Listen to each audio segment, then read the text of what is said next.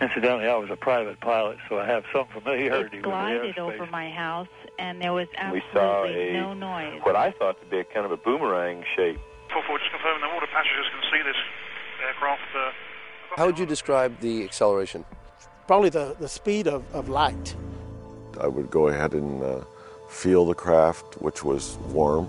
If these UFO, these extraterrestrials are so highly evolved, how come it is that they only address people named Bubba who are out hunting and fishing?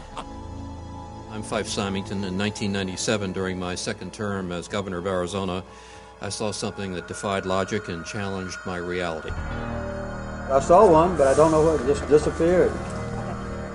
And the saucer flew right over him and put down three little gear and landed out on the dry lake bed.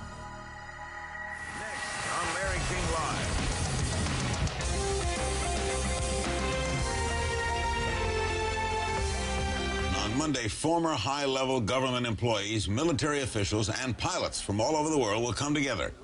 They'll discuss their own UFO sightings and encounters, and they'll do it at the National Press Club in the nation's capital. This is when we first saw the UFO. This is when the pilot saw the UFO. This is when the military guy saw the UFO.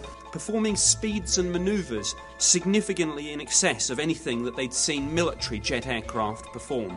Physical traces on the ground from the craft were confirmed by the local police. James Fox helped organize today's UFO related event in Washington. He directed the film Out of the Blue. The official position from the Air Force is that they terminated Project Blue Book in 1969, and there have been no official investigations since then. We have not been hiding anything. They are simply following orders. Don't rock the boat. Play it down. Cool it. Ma'am, I have no reason to believe that they're real. Thousands of witnesses now, which can confirm that indeed this so. Uh, activities which cannot uh, be related to uh, terrestrial activities. It's not going to be, as I say, disclosure with a big D. Right. It's going to be disclosure with a small d. If the government's announced, well, there are the unidentified objects are real, people would panic. Uh, I cannot say yes, but I cannot say no.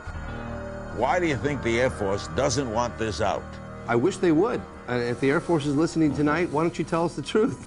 There are people who said they saw things, and whenever that happens, it, they deserve the, at least an investigation, it seems to me. Uh, I think it's time to open the books. It's time to find out what, what the truth really is that's out there. It went at a 45 degree angle away. We ought to do it really because it's right. My response was we could land all 40 of our B 2 bombers on the wing of that craft. We ought to do it because the American people, quite frankly, can handle the truth. I know what I saw, and I get very upset, and I would, was wondering why they won't find out what it was. And we ought to do it because it's the law.